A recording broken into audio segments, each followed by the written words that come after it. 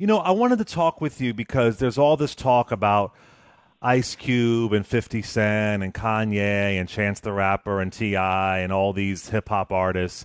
And we talk about it on the show because at this point it's become a political story. But one of the things I've said on my show incessantly is that the reason why they go to these pop stars, and I do call them pop stars, is because having somebody in the room who is going to hold them accountable, that's a little bit too dangerous. Having somebody in the room who has actually worked to register folks to vote, who've actually worked on political campaigns, that's a little bit too dangerous, right? And I wanted to talk with you about this idea of being in the room and negotiating with somebody who was as devilish as Trump, especially a few weeks, uh, you know, before an election. You've never been in the room with Trump, but I feel like if you were, if you could be, I would want you there again to hold him accountable. But what do you think from a strategy perspective? You know, you're all about strategy, right? strategy perspective, what, what do you think of this idea of we're talking to the other side two weeks before an election, and we had a primary about a year ago, and I, I, I vanished, but I'm showing up now. I want to be civically engaged now. What are your thoughts on that strategy, L. Joy Williams? Uh, well, you know, the thing about that type of strategy is I can't say that I would never suggest to anyone to be um, in the room with someone like Trump or you know any president or governor or anyone that people believe are outright you know against um, everything you may stand for. There may be strategic benefits to have identifying someone um, and having the right person go in a room and negotiate. But there are all sort of, sorts of caveats, right? there is, you know, um, is the person trustworthy? based upon um, what they're going in to negotiate. Do they have a prior relationship that allows um, an openness? So I'll give you an example. Al Sharpton has a previous relationship and have uh, engaged with uh, Trump before, right? So that's one. He has a, pre- a pre-existing relationship um, and have had a camaraderie um, but also been on the antagonistic side, right? Um, say what anybody wants to say about Al Sharpton. I trust him to go exactly. into a room and negotiate and based upon what is said and the issues and things that he uh, believes in. Um, but then there's also the time factor, right? It's two weeks before election day. Are we negotiating somebody's release? you know, that he has the power um, as president to do. Um, so going in and, and, and negotiating that kind of thing, negotiating a black agenda two weeks before election when someone has been in power three plus um, years to actually execute on that thing. To there's all those caveats. Have they been open to? Now, I firmly believe, as much as I despise Trump, he you know he ain't shit he ain't never gonna be shit like whatever like in terms of my perspective. Um you know I, I forgot who said this and like we know he does things based upon ego. We know he whoever is the last person in the room or anything like that right? So there may be strategic advantages to doing that for specific things.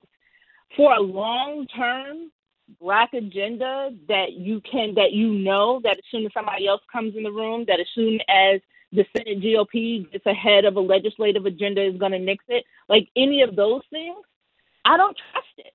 And so with the celebrity sort of coming in at this space and doing it while I um, wholeheartedly believe not discouraging people no matter what moment they wake up from being civically engaged like providing space for them to do that but there's again the difference of ego and saying that coming late to the party and believing you're the savior, right? Like that you can negotiate the big thing um, and being able to play your position in a way that uplifts and empowers everybody instead of just you. Um, and th- those telltale signs of ego, of something that you negotiated, and um, um, then going further, as I saw on Ice Cube's Twitter, he's like starting to reach out to elected. Your bill needs to be stronger and things like that. Is like, all right, dude. Like, you know, again, that's ego. I called you and it's been a week. You know, kind of a thing. week. I called um, you a um, week ago about right. reparations. a week, not knowing the kind of work that folks have been doing doing for years and years on it. Go ahead. I'm sorry. Yeah, the same thing, right? And so that level of ego that tells me who you are really concerned about, and it's you. It is not a a position of you being humble of saying, "Oh, I know I don't know everything. I know this, and I have um, uh, the ear. I got the attention. I have a celebrity. So what can I do in this, you know, standpoint? I look to those people, right? Because we like to use a lot, Clay, the example people go to, well, Muhammad Ali and Harry Belafonte talking about all of the activists and celebrities that um, have been throughout our culture. And there's a there's a clear difference. You can see the clear difference of artists who have been engaged, but they use their limelight strategically. And when they do, they are usually bringing other people who know more about the subject, who have been advancing the issue, right? I just watched a documentary about the week that Harry Belafonte um, uh, hosted the, was it Tonight Show? I think it was. Um, and so he could have talked by himself about the civil rights movement or about any issues, but he provided space to bring Martin Luther King on to talk about it. He provided space to bring Bobby Kennedy on to talk about, you know, the political space. So it's using the limelight, using the attention that you have um, in any space. I don't care if you a local celebrity, if you're the local rapper, and you know that everybody goes to for some, like you still have some sort of platform and being able to use that um, to amplify what's being done rather than amplifying and push putting yourself up as a savior. Right, that's such a good point because I don't think what any of us are saying is shut up and sing or, or shut up and rap. It's just make sure that you're informed because you have a lot of power. And what you bring up is, is really important. Nina Simone, Harry Belafonte, uh, Lena Horne. Uh, you know, I said this. I said this last week. Imagine if Lena Horne would have had a secret meeting with George Wallace, right? You know, at a hotel uh, because because she just felt like Dr. Martin Luther King wasn't getting the work done. That would have been outlandish, right? And of course, we might think right. there is no Dr. Martin Luther King right now, but nonetheless, there are still activists who are doing really, really important work who are trying to penetrate those rooms. Reverend Al Sharpton, he tried to meet with Trump. He tried to work with Trump. Trump refused. Uh, Elijah Cummings, I can go on and on and on. So that's just really an important right. point that oh well, celebrities have done it. Yeah, they've done it, but but Harry Belafonte knew. Listen, I'm I'm a smart guy. I am an activist, but it's important to have Dr. King there. It's important to have policymakers there, right?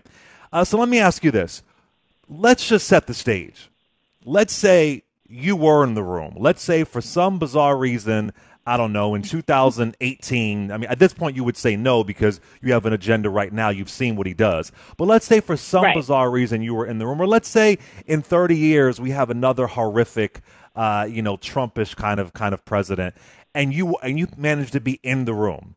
So give us some ideas of for folks, you know, we have a lot of diverse listeners. For folks who manage to make it in the room with someone as insidious as that, whether it's uh, in the government, whether it's your governor, mayor, president, what what would you say would be some basic negotiating agenda items you should have walking in that room? G- give give folks some tips. You know what's interesting is I did a whole show about this. um, so I talked about like one, how you prepare yourself and the people you're going in the room with. Having the clear agenda, this is what we are uh, we're planning to talk about. Here is um, where we stand on these issues, being able to back it up and clearly articulate things. Um, and for me, even in a negotiating room in that instance, I don't I don't go in those kinds of conversations believing that I'm gonna shake the you know, do the handshake or the agreement there. I still got people I got to take it back to.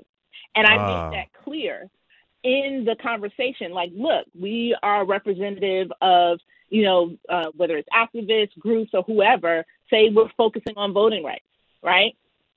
I have to be in the room, um, but other groups aren't. The ACLU isn't. Common Cause isn't. Um, NAACP Legal Defense Fund isn't for some bizarre reason, right? Um, but if I go in and they're like, we have a deal on these things, I'm like, well, you know, I think we can maybe get somewhere, but I need to go back and talk to, you know, my people because I can't make a decision solely on behalf of all black people, on behalf of all, like, I, to think that you can do that. right? To think that even the, the plans that we have for a black agenda or anything like that, it is not presenting it as if this is the only plan that every black person is going to agree to. We ratified it at the black meeting two days ago. You know what I mean? Like you still have to go back, right, and have the conversation. Case in point, um, the uh, Van Jones negotiating with um, uh, Trump on a criminal justice pact on the um, bill Jared that Kushner. was passed. Right. There were a lot of other folks involved that were saying, okay, we need this didn't go far enough here. We need to do, you know, we need to do this. The First Step Act I'm talking about, you know, sort of all that stuff. People were upset, right? Partly because he didn't come back and engage and said, we have been working collectively on this. You going out and unilaterally saying that we all agree with this, that this is all thing, is a problem.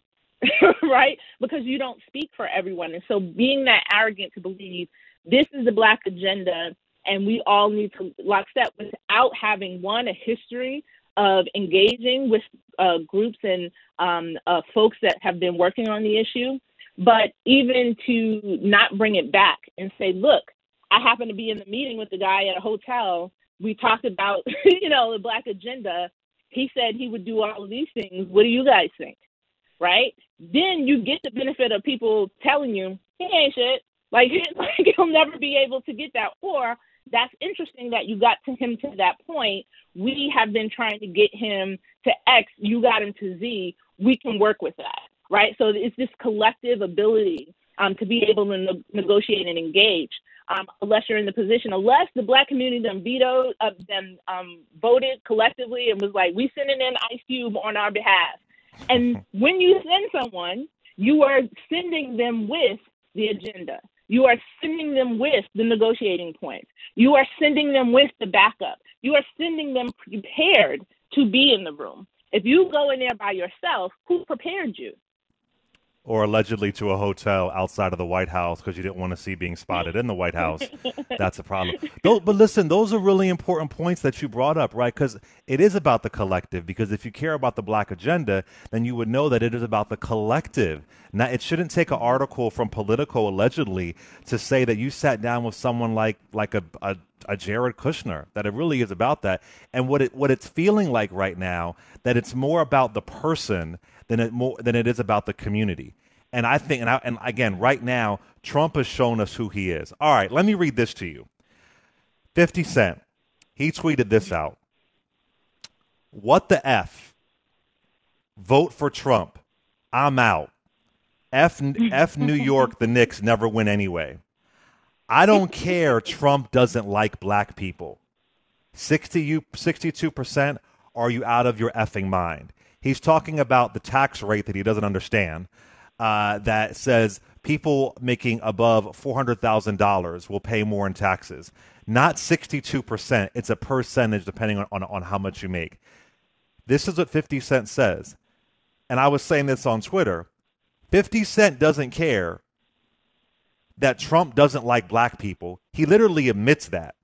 And folks paying more money in taxes, folks paying more, folks paying a bit more if you make a certain amount is too much for him. Then you got to think of all the folks who made under $100,000 a year, under $50,000 a year, under $40,000 a year that contributed to him being a multimillionaire. And I, again, I was saying it on Twitter. It is greed over community and black folks exploiting black folks. I don't think the solution is black capitalism. I don't want a black boss to exploit a black worker.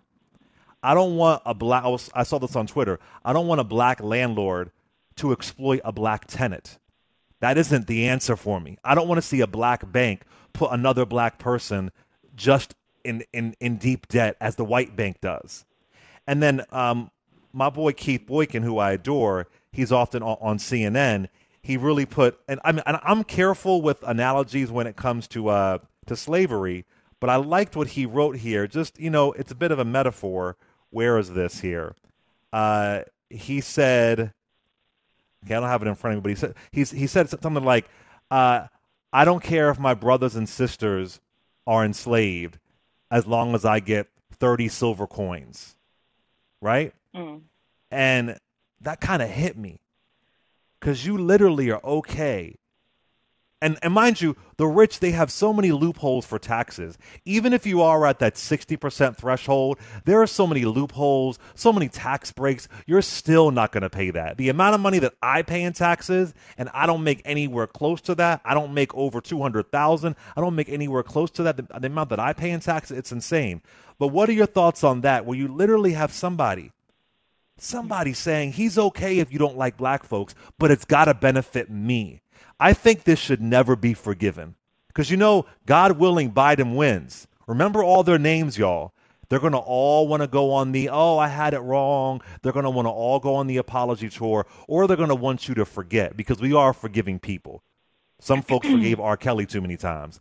But what are your thoughts on this when you see when you see 50 Cent literally saying, I don't care Trump doesn't like black people. Taxes, money, profit. It doesn't surprise me. Um, number one, there are a number of lessons just in that number in that tweet, right? you didn't even have to do like a Twitter rant.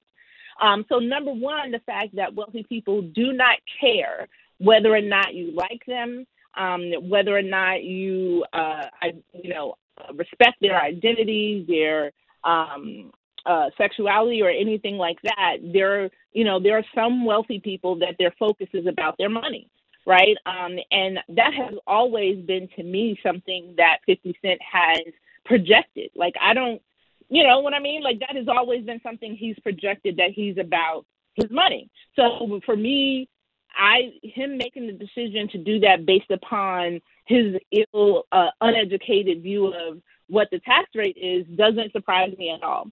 Um, the second lesson in in this as well, and I tweeted this yesterday. I was like, I don't care if it's a Democratic celebrity or Republican celebrity, like vote your own interest.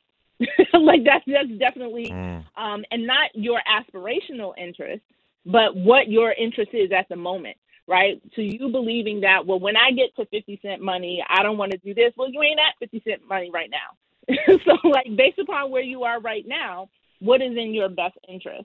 And as you mentioned, he's uneducated about the tax rate. Like he has uh, people that he pays that will make sure, I don't care if the tax rate is 62% or 67%, he'll pay less than that because he hires people to ensure, and there are loopholes for him to do so.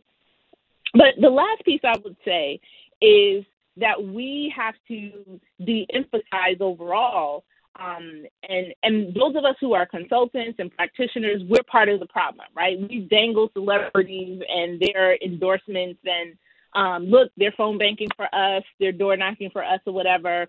Um, it's the the the carrot, I guess, um, or the cake that we kind of use to get people to pay attention um, in a political space that sometimes people tune out. And so, bringing in, you know, the cast of Hamilton, bringing in 50 Cent mm. or Ice Cube or sort of any of those kinds of folks um, is is something that is done. But then look at the response of a GOP party right? Where I see on Twitter, like they're posting a picture of Ice Cube and 50 Cent with like the Trump, like using them as a marketing tool. There is no real engagement, and this is part of. Um, there are black conservatives that consistently talk about this all the time. That um, this is like y'all just keep talking about black people being slaves on the plantation. You're not really engaging on issues or anything that black people care about. There's a natural a base of black conservatives that you're not engaged in. You just keep doing the old racist tropes. So like your basic ass, even like responses, even in recruiting and engaging people. And I asked this question, Clay, on Twitter. Anybody, you know, everybody talking about the plan that Trump got or whatever. Did Ice Cube talk about it, or did a GOP organizer talk to you about it? Right? Did you see information about uh, Republicans in communities in Baltimore and New York um, uh, in Compton, actually engaging people in conversation about what the Republican plan is um, to uplift Black communities or invest in Black communities.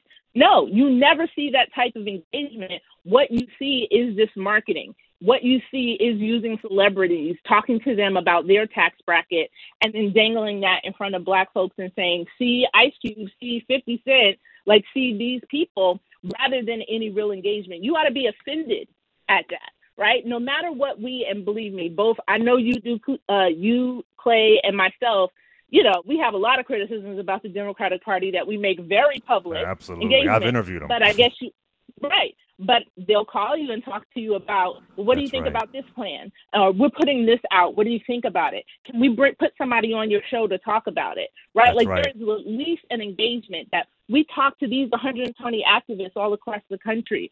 Some of them like the plan, some of them don't, but there was at least engagement, right? So to think that we would get something substantial from a president, from an administration, and from a party that continues to treat us in that kind of disrespect, and that you would two weeks before an election come up with some master plan that you had the ability to do in the last three years, nah, man, I don't trust it.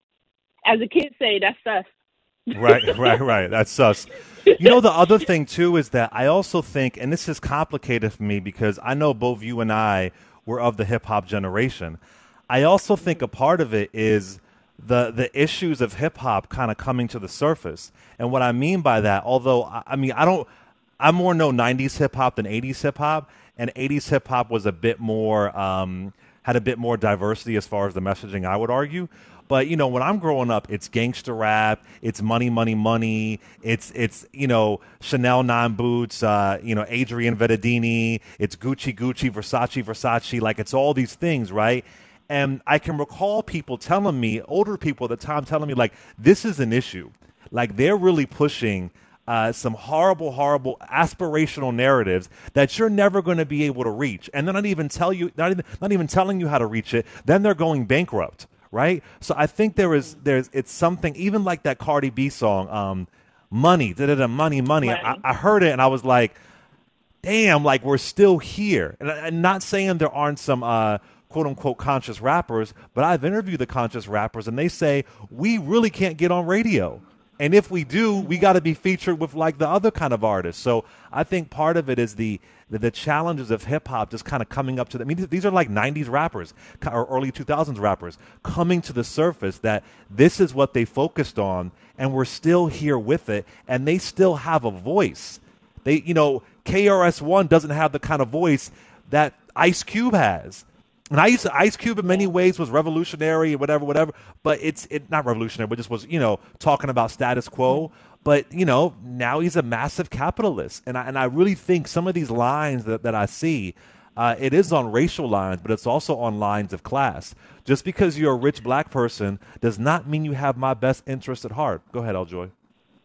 Yeah, I would say similar to that. You talked earlier about not wanting uh, a black landlord to exploit, you know, uh, their rent, a black rentee, you know, not wanting a black banker to exploit their black community. And I, I, I think to your point, there's this education piece as well that, you know, we the phrase now is, you know, capitalism is black capitalism is going to save us, but what does it mean to have and be a, like engaged in a way that is not predatory? Exactly. Right. Um, so I've been using previously predatory capitalism, right? Mm. In that way that we talked about on Sunday, we have this belief that if I, um, if you um, gain wealth, right, that you're taking something from me, and therefore I also have to um, assume the role of the predator.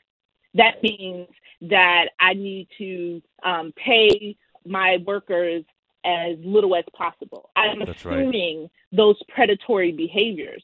What we have to break is that you do not have to do that in order to be wealthy, right? You do not have to pay people as little as possible. Actually, if you pay people a living wage, it actually increases your business. Like it, it's in, impactful for your business, right? You um, gaining while the people next to you are gaining as well is collective wealth, is collective stability, right? But we have this, again, the scarcity mindset of that I have to get for only me. And if I let up a little bit, if I let you enjoy a little bit, if I let you catch up to me, somehow I'm losing. You're a threat. Um, and that kind of scarcity, um, that um, assuming a predator nature, which um, Reverend Lawson now calls plantation uh, capitalism, right? A plantation capitalist system of like, you, there still has to be people below me in order for my wealth to mean something. And that's something we have to break. I agree. And let me be clear. For me, I know you, you as well. I'm not anti wealth at all. I'm not anti wealth in any capacity. I think it's important to be financially literate. What I what I am against, like I was saying, is the exploitation. And let me give you an example. Maybe maybe he didn't know any better. Uh, maybe there's some there's some more details that I'm not aware of. But when you think about someone like Diddy, who was saying hold the vote hostage in April, here is somebody who reportedly, allegedly, exploited people on his record label and didn't fairly pay them. And according to Mase, allegedly, reportedly, uh, is not giving him a fair share of his publishing. That is exploitation. So it's great that you're a bad boy for life. It's great that you're all of that, but it's not good that you are literally exploiting, reportedly, allegedly, other artists who had a dream, had a goal, had an aspiration, and now, uh, you know, Mase can't even get his, his catalog back. You know, I think about someone. Um, I think about Faith Evans, for example, when when when the notorious B.I.G. passes away, she didn't have to do this, but she made sure that she shared 50% of Biggie's publishing with his mother. Now she didn't have to do that at all because she's married to him, but she, but she decided to do that because it was fair and she didn't want to exploit her husband's right. mother who was suffering with the with the, the death of her son. That's what I'm talking about. It's not just getting money and buying some property and whatever the case may be. It's what are you doing with it. So I'm not I'm I'm pro wealth. I don't want anybody to be poor. I grew up poor as hell, but I'm not about exploiting people or thinking that because you're rich and famous, because you have money, you are suddenly an expert on, on anything. That would be like L Joy, you waking up tomorrow deciding you want to be a rapper and and then you get outraged if you don't have a number one hit. Like, how dare they?